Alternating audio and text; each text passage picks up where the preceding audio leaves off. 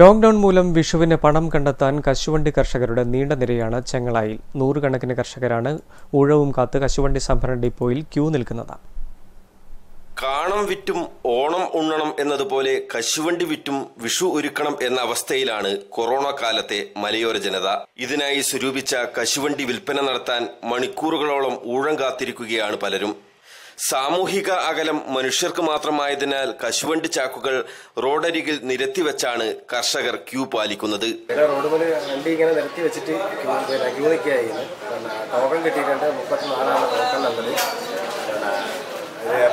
എടുത്ത് പറയാൻ ഇറങ്ങിയതാണ് കൊടുക്കാൻ അപ്പോൾ പോലീസിന്റെ ബഹളം വേറെ അപ്പം ക്യൂ ആയിട്ട് നിൽക്കുകയായി വിഷുവിനെ വരവേൽക്കാൻ മലയോര മേഖലയിൽ അവശ്യ സാധനങ്ങൾക്കായി ആളുകൾ കൂട്ടത്തോടെ ടൗണിലേക്ക് ഇറങ്ങുന്നുണ്ട്. വിഷുദിനത്തിൽ പുത്തൻ വസ്ത്രങ്ങൾ ഇല്ലെങ്കിലും ചക്കയും മാങ്ങയും കണിക്കൊന്നയുമൊക്കെ ശേഖരിച്ച് വിഷുവിനെ വരവേൽക്കാൻ ഒരുങ്ങുകയാണ് മലയോര ജനത. News bureau Sreekandapuram.